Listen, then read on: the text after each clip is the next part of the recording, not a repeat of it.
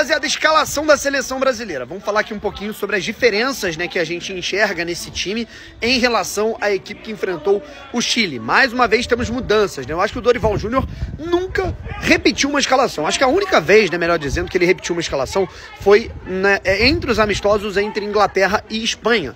Né? Desde a Copa América ele sempre faz alguma modificação. Se liga só, rapaziada. Ederson no gol, Wanderson é a novidade. Né? O Wanderson é o lateral direito do jogo, né? Vai ser escalado no lugar do Danilo, né? Um lateral um pouco mais ofensivo. A zaga com Marquinhos e Gabriel Magalhães. Abner se mantém na lateral esquerda, ele fez um ótimo jogo, na minha opinião, contra o Chile. O meio-campo, o Paquetá tá suspenso, né? Portanto, Gerson e Bruno Guimarães farão a dupla de volantes. O Gerson, que na minha opinião também entrou bem.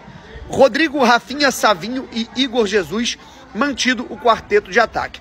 Eu só gostaria de ver o Rafinha na sua posição, jogando ali, cara, aberto, como um ponto, do jeito que vem jogando muito bem com a camisa do Barcelona. E aí, rapaziada, quanto vai ser Brasil e Peru em Brasília? Comenta aí.